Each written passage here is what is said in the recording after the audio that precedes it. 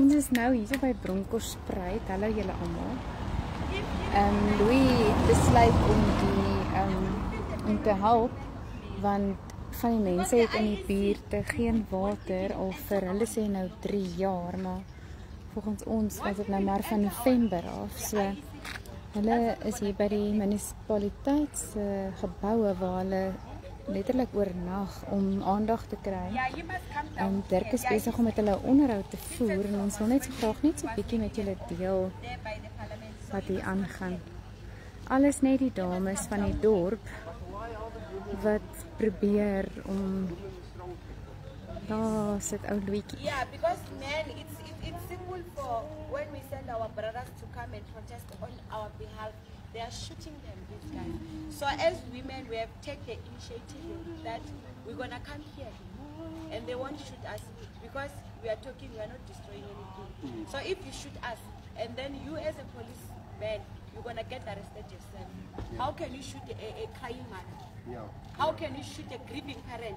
You see? Hmm. And you're not part of a political party or anything? No, no, no. Here, it, this is a community. The community. Yes. Hmm. And you are going to win. We, we have one actually. We just need them to to dance on our on our drum now. We've been dancing for them for a very long time. So now it's our time that they will dance. That's why we said they're gonna do what we want. But they won't pay on 29. Yes. They will get a reward. Thank you. Thank you very much. sir. Hoi Dirkie.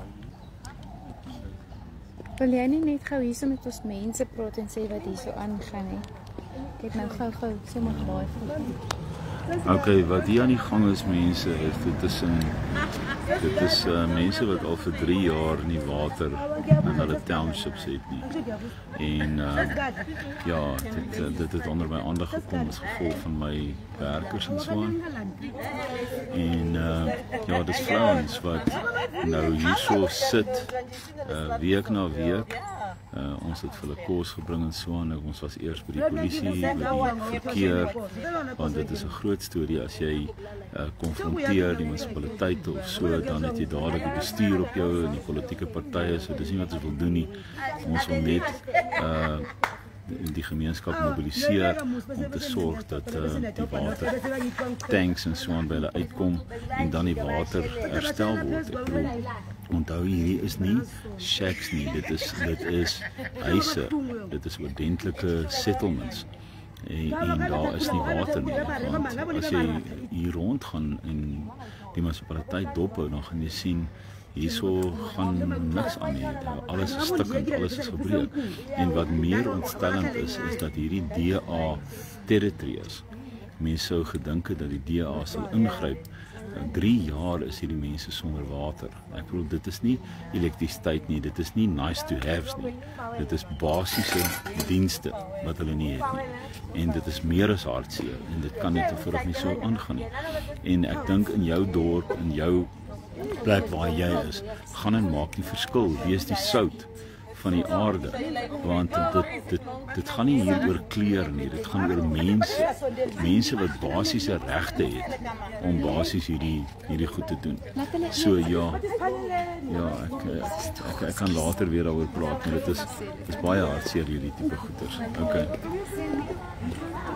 sê? Okay julle moet 'n lekker dag hê ek weet nie uh, Daisy is nou eers besig om Yeah, uh, te help ja yeah. Is he still recording something? ja No, he's just busy with his own stuff. On behalf of the women from the Tabsen community, we really appreciate that. It's Red Harrison. no? Yes, yes. We really appreciate that you do for us. It shows that even if we cry, someone is, someone is listening. Yeah. Someone is It's because of paying our attention. ladies. They tell us that you guys are ah, battling and yeah. being So we of had to take these drastic measures because we are sick and tired of being sick and tired. So thank you very much for this. Hope it's gonna God bless you. You're. And, ma'am, we'll have it. We'll have eh? KFC. Please, Yeah, on their behalf, as your employees, sometimes it gets tough in such a way that they won't be able to come to They work. did, and we Yes, know, we know. Because sometimes when we are here, sometimes we get angry against them that they they are betraying us by going to work while we are fighting for water. But for this moment, we have allowed them that the kids must go to school. Those who are working, they must. But if we don't get what we Mm. want, sometimes we close the road that they are unable to come to Mm, work. mm, So we understand please just that. bear with them. If you could just escalate the message in all the the employee, the, uh, yes, just escalate. escort it because sometimes they are, they are complaining that we, we need to go to work. So what is it safe than explaining to you that we can't be able to come to work maybe for two days instead of them getting hurt because we've got comrades Yeah. that you can even beat them. Yeah, they were. They yes. were. They told us. So please just bear with us, guys. Once Yeah. this, this is over, then everything will Vat get hier back so. to Bokkie? Nee, vat die vat, vat die so my lief. Hy wil net eers 'n bietjie vir jou sê wat het hulle Okay, Okay, Dirkie. Toe jy nou met hulle praat, wat was die ehm um, die verdict hierso? Ek was verskriklik beïndruk met hoe die gemeenskap kan saam staan. Ek dink ons 'n groot les vir ons Afrikaanse mense daarin. Sodra dit begin swaar gaan met ons draans ons die mekaar ons beklei met mekaar. Hierdie mense staan saam. Ja, en dit so vreedsaam, né? En vreedsaam en hulle is doelgerig en dis vasberade. En ek is verskriklik beïndruk Wil jy daarmee. nie graag met hulle praat nie? Okay. So. Dit is dis vir my 'n baie indrukwekkende. Ja. Agtertjie nê. En die feit dat hulle net sê kyk nou hy ene.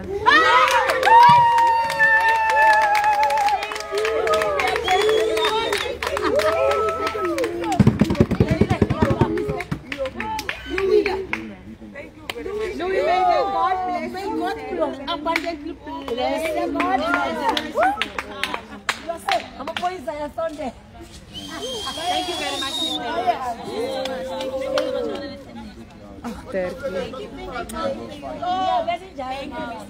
Praat klaar. Sorry, ek wou nou nie dit mis nie. Dit as ek soveel swaar kry in die wêreld en ons mense moet mekaar staan.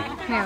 Dit kan nie ons ons kan nooit gelukkig wees voor uitgaan as mense rondom ons so swaar kry dat hulle sonder water moet sukkel vir 3 jaar soos hierdie mense. En die, en die gevolge daarvan is kinders wat nie skool toe kan kinders gaan nie. opgelei word, die kinders wat nie werk gaan kan hê nie. Ehm en is nog 'n geslag, nog 'n geslag wat in armoede leef en ons kan dit nie bekostig Ja. in hierdie land nie. Ja. Dis 'n land wat moet opstaan Ja. en nie sonder onderwys en sonder in die basis op die water is saak. Ja. Ag dankie Dertjie hoor. Dankie. Dankie. Please, please, please. He's not fine. No. Yeah, he's just supporting us. Thank you, Thank you, ma'am. He's not buying anyone. Yeah. Zana, someone might come and say he's But let them come. No. Let them come. not I'm buying not from any political party. We just women that are concerned about the dire situation. Thank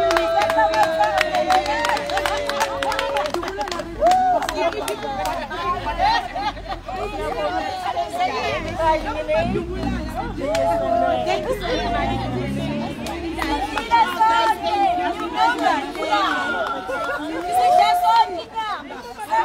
Thank you so much. You're most welcome, sweetie.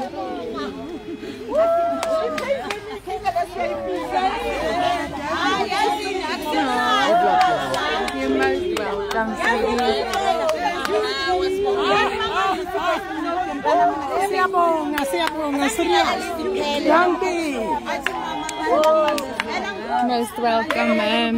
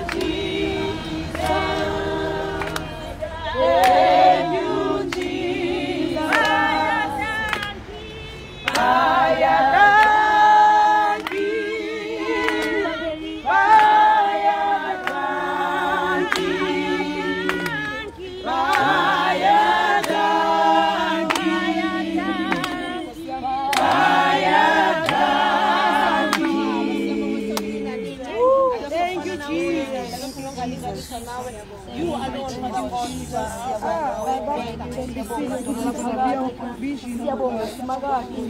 for providing for us, oh God. Thank you for letting us down, oh God. In the name of Jesus. Oh, Father, we thank you and we appreciate you, oh God. In Jesus' mighty name. Ooh. That's what sustained us. Prayer, prayer, prayer. Thank you. Thank you very much. Yo. Sabonga usikulethela belumpi. Ah, sabonga. Baby. Mazati. Dit was net ons is so baie hartseer oor wat nou hier gebeur het. En ehm um, dis mense wat die Here se naam groot maak en hom ken en hulle beweeg, né Dirkie? Ja, nee, Was dit nie nou vir jou mooi nie? ek het trane in my oë, hoor. Ja. Definitief is. Om te dink dat hulle nou so so dankbaar is. Mens sou wil dink hulle gaan nou aan die kos gryp en nou hier staan hulle nou die Here loof en prys. Ja, maar water is vir ons almal so vanselfsprekend, want dit is so belangrik. Water is die ding wat so dood maak en ook die ding wat so brood nodig is, nee. Ja, definitief. Ja. Ja. Nee, o, yes. En ons sien hoe belangrik dit is. Ja, ja, hulle is baie dankbaar. Ek sê dan gaan ons weer later met julle by julle inloer. Dis alles deel van ons werk. Julle moet 'n baie mooi dag hê, hoor.